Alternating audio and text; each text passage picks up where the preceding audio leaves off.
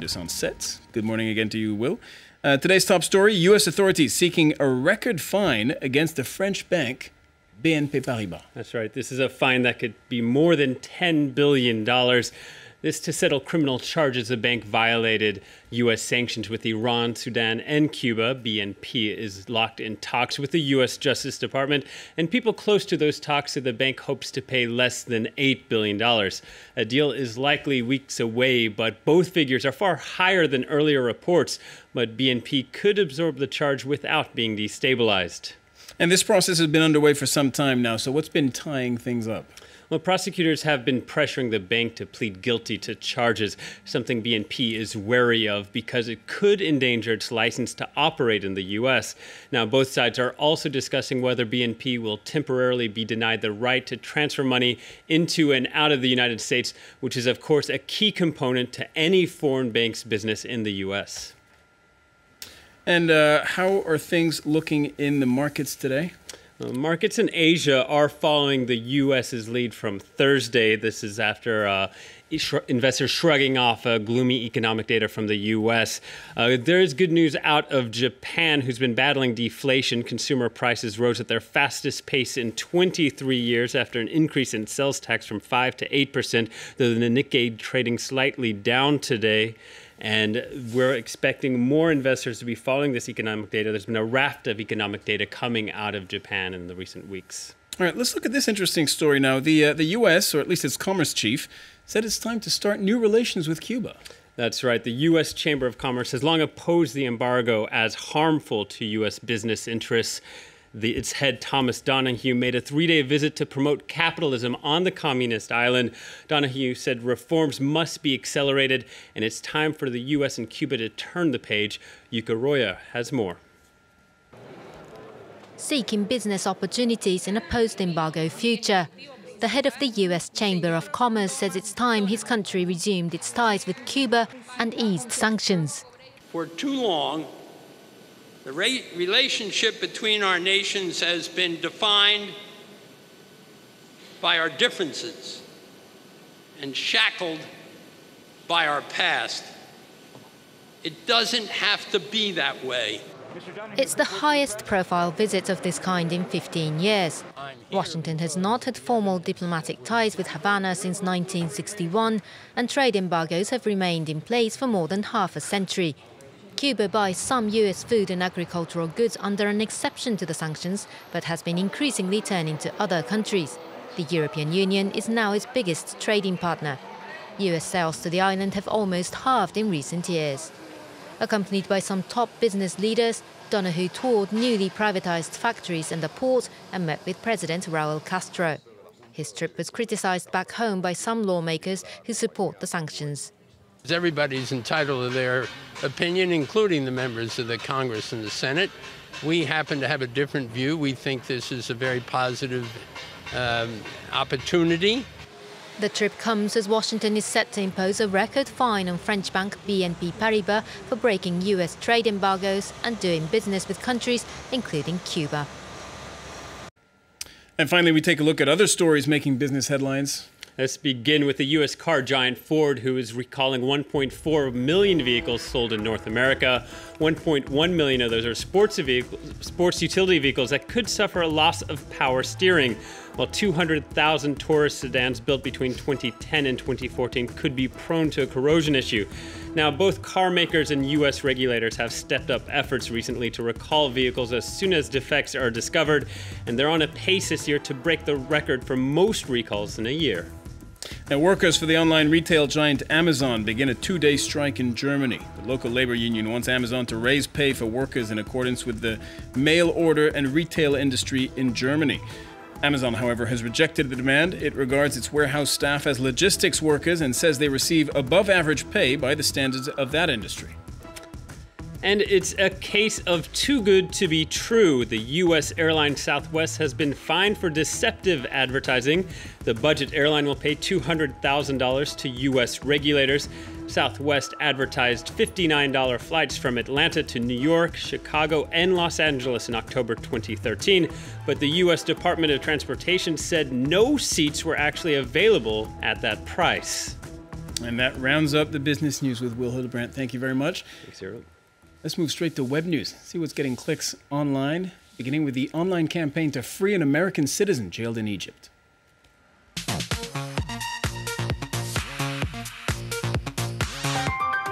Hundreds of social networkers have been posting under the Free Sultan hashtag, calling for the immediate release of American Egyptian Mohammed Sultan, who has dual nationality and was arrested when he was in Egypt back in August 2013. His crime? Taking part in a peaceful protest supporting ousted President Mohamed Morsi. The online campaigning has intensified following the recent release of a video in which he appeals for help from his cell. He's been on hunger strike since January of this year. The clip, which was posted to the Free Sultan Facebook page this week, was recorded at the beginning of the year, but not released by his loved ones until now. If you're watching this, it means I'm in a hospital bed because the hunger strike I started January 26th earlier this month has gotten the better of me, or I'm dead. Alarming words. He also appeals to the American authorities for help. The message has since been widely relayed on social networks, where many have voiced their solidarity with the young prisoner.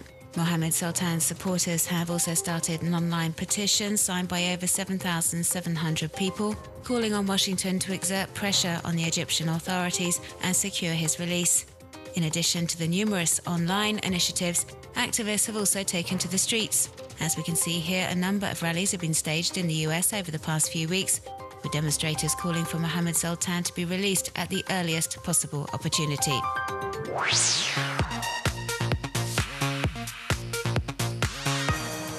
Pakistani woman Farzana Parveen was stoned to death in Lahore on Tuesday in public by family members. Her father has justified their actions with, I killed my daughter as she had insulted all of our family by marrying a man without our consent, and I have no regret over it. The so called honour killing has sparked strong reactions on social media. Many have taken to Twitter, posting under the Farzana and Farzana Parveen hashtags, condemning what they describe as a barbaric, brutal, and heinous crime. She was 25 years old and three months pregnant. Web users are appalled that her own family could do this to her and say they should be given exemplary punishment. Sadly, this isn't an isolated case, as the NGO Aurat reports every year in Pakistan, close to a thousand women and teenage girls face the same fate, and it seems the numbers are constantly rising. The practice is widely condemned by the international community, but it appears this is not the case in Pakistan itself. A study conducted back in 2009 found that 83% of Pakistanis questioned said they agree with stoning as punishment for adultery or bringing dishonour to the family. And yet, a growing number are now taking to the web to denounce this practice. They criticise the authorities for not doing enough to stop it happening and demand justice for every woman who's ever been subjected to stoning in Pakistan.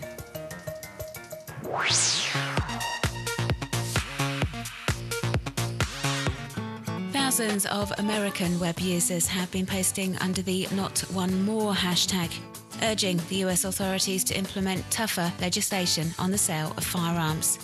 The phrase was inspired by a speech delivered by Richard Martinez at a memorial ceremony for his son, Christopher, who was killed in last week's shooting in Isla Vista.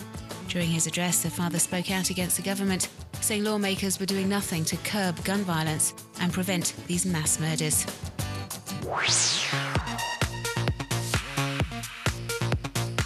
We have your phone and we dare you to find us. Two dim-witted thieves sent this message along with a selfie to all the contacts in the teenager's mobile phone they'd just stolen on the streets of New York City. They used an app that allows users to send photos that disappear after a few seconds. But one of the contacts took a screenshot of the photo and forwarded it to the boy's mum, who contacted the police. The pic was then sent to the media and posted online, and of course the culprits were tracked down and arrested, and they'll soon be appearing in court.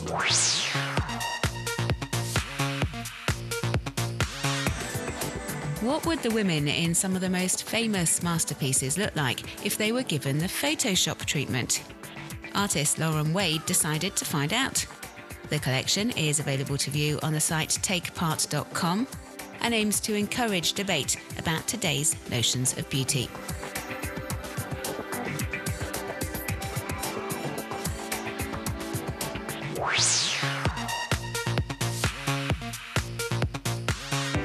Potter loves to go wingsuit flying and he wanted to share his passion with his dog Whisper. So he wrapped his four legged friend up safely in a backpack and off they went. You can check out the incredible scenes in this video, available on Vimeo.